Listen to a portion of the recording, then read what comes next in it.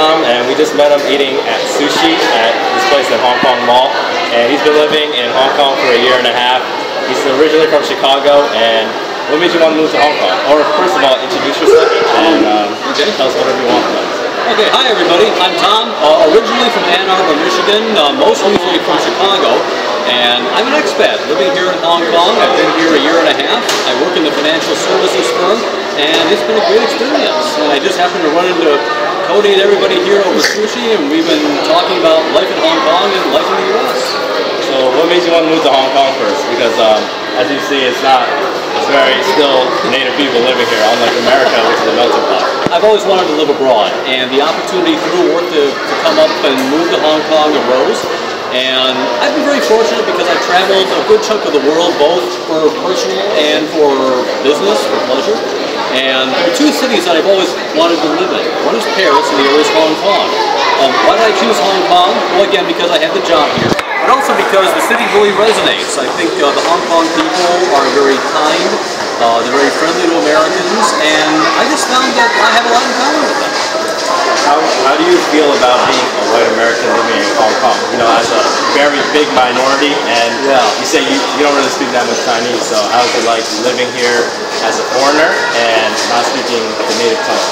Well, not speaking the native tongue, which is Cantonese in Hong Kong, uh, it's a little bit of a challenge, but because Hong Kong has such a strong background, having been a British uh, colony for so long, the English infrastructure here is enough where usually getting around is not a problem. Taxi rides are a bit of a challenge because a lot of the taxi drivers don't speak much English, but there's an app for that that I have on my iPhone. You just dial down the instruction and then it gives the instruction to the driver in Cantonese or in the traditional characters. Actually, what's the app called? So It's called, it's called Hong Kong Taxi Translator. Hong Kong uh, Taxi Translator, and is that on iPhone or Android or both? You can get it, I have it on my iPhone, but you can get it on both. And uh, how's it like? How's the culture here compared to America? The culture here is different from the U.S. Uh, in broadly speaking, I think that the people here are a bit more.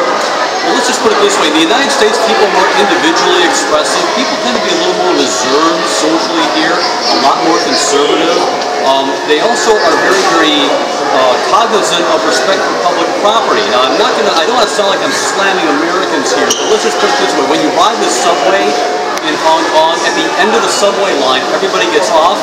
The subway is spotless. There's not even a newspaper line around.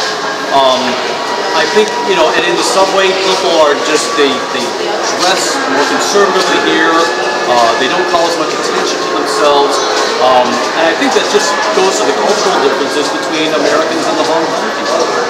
And you mentioned before that Hong Kong people are very friendly to Americans, and I know that in America there's a lot of friendly people to foreigners, but also there's a lot of Americans that are very hostile towards foreigners because some reason such as jealousy or they just don't like them or whatever. Um, how's it like meeting people in Hong Kong, and are your coworkers from Hong Kong or are they also expats? They're a mix. The coworkers are both expats and the local Hong Kong people, and all of them speak English. So the language barrier at work really isn't much of a problem. Um, if there is a barrier to getting to know people here, it's because of the language. Some people, they're very apologetic when they speak English. They say, well, um, I'm sorry if my English isn't too good. I keep reminding them and putting them at ease saying, your English is very good because if I can understand you, your English is good. And this is maybe a bit of an exaggeration, but I'll, I'll tell them at times that their English is better than some Americans. So, um, you know, so getting to know people, I mean, there are some cultural barriers, but I think overall here, people are very accommodating to foreigners. Hong Kong is a world city. I mean, it's not just Americans who are here, it's also Brits, it's Aussies. Uh, there are so many people from so many different nations here. It's truly a melting pot, it's a global city. And if you have the right mindset, it's very easy to navigate and to fit in here. Okay. What was your initial impression of Hong Kong when you first moved here as an actual citizen or, or uh, expat worker? Yeah. And then how to compare a year half a year and a half ago to now? Well, when I first moved here, um, it was a little overwhelming because all of a sudden you have this disconnect. Everything that was familiar to me in Chicago was gone, and I realized that I was in an environment where I didn't know a lot of people, and I was 8,000 miles from home. So that can be a bit overwhelming at first, but fortunately, um, I had a classmate from Indiana University who was here, and so he and his family have been very helpful in, in getting me oriented and helping me find the apartment, and they've been a great resource to me all along. Um, but I wanted to move out here, and I actually chose Hong Kong, and I already knew Hong Kong, so it wasn't as big of a shock to me as, say, an American who's told, well, you're moving to Beijing. So um, I thought it was pretty easy to get used to, as long as you know what to expect. My apartment is half the size of my apartment in Chicago and twice as expensive. I don't have a car, um, but everything here is very compact, and Hong Kong is a very efficient city. It's easy to get around in, and it's very easy to get used to if you know what to expect. So, what advice would you give to Americans who are looking to travel to Asia, more specifically China, Taiwan, Hong Kong? Because, uh, as you mentioned before, they usually lump them all together, and obviously it's not like that. So, what would you give to advices? Uh, what advice would you give to first travelers going to this area and America's more specific? Well, I'd say if you're an American and you've never been to Asia, number one, I'd encourage you to come here. The next question is, where do you go in Asia? Asia's a big place. Say for China, Shanghai is a great starting place to go in China. I call Shanghai China Light for Westerners who are intimidated by China because Shanghai is probably the most westernized city in all of China. And it's very easy for a Westerner to be to, to feel comfortable there. They've got Starbucks, they've got McDonald's, they've got all the toys. So Shanghai is a great starting place for China. For Hong Kong, So, what's your favorite ethnic Hong Kong food to eat here, and what is your favorite place to go here in general in Hong Kong? Favorite food would have to be the noodle bowls and the rice bowls. The Cantonese place a premium on fresh food. They like their food served hot, and it's the portions are not very big. They're much smaller than in the United States, um, and the food is not very highly processed. And so I think the eating here typically is a lot healthier. You don't find a lot of people who are struggling with their weight in this part of the world, where it's much more common in the United States. And I say that you know in a very constructive spirit. I think a lot of the issue is because of the food and the way the food is prepared and served in the U.S. As far as places to go, there are many places to visit in Hong Kong. Um, I like the Tian Tan Buddha as uh, more of a touristy destination, but I also like just walking up and down Queens Road Central in Hong Kong Island.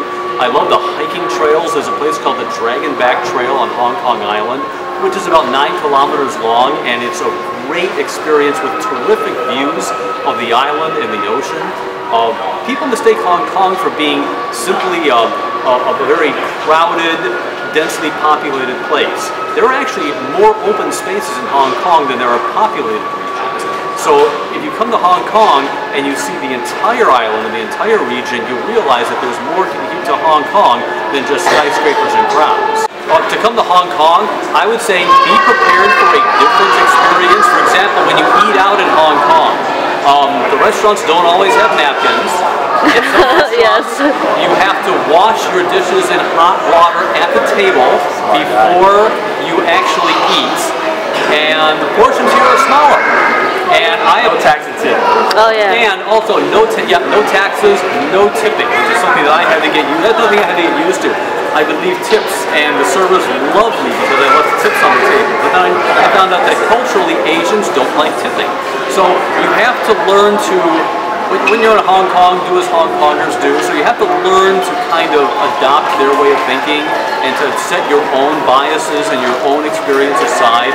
You have to be ready to do that, I think, when you move to any foreign country. And if you can do that here, again, if you have an open mind, it's very easy. You can get used to anything and you can get used to anything. And uh, last question is, what tips would you give to new expats or people who are looking forward to moving here soon for a job or extended visit? Wow. Well, I'd say, um, besides anything that I've mentioned already, I would say that when you come here, um, if you can learn the language ahead of time, like Cantonese or some Mandarin, it helps because the Chinese, both Mandarin and Cantonese speakers, give Westerners a lot of credit for even trying to speak their language. If you can speak even a little bit of Chinese, and my Mandarin is better than my Cantonese, then you'd be surprised at how many welcoming smiles and, and, and how open and how close people feel to me when I speak even broken Mandarin because it sends the message to them that you're trying to reach out to them, that you're trying to overcome that cultural barrier, that you're not putting a wall I would say if there's one piece of advice, if you could learn a little bit of Mandarin or Cantonese before you come to China or Hong Kong, even if it's some simple phrases, that will go a long way toward enhancing your experience. All right, thank you, Tom, for your time. It's been great, Koty. Yeah. Good morning to you guys. Is there any last words you'd like to say to our viewers? I would just say that also when you come to Hong Kong and you eat at a restaurant, the Hong Kong people don't like to waste food. So order less, not more. I've actually had servers tell me at restaurants, I said, I'll have this, this, and this. The server said, no, too much for you. Just two. I would look at him, I would say, you're kidding. And he was right.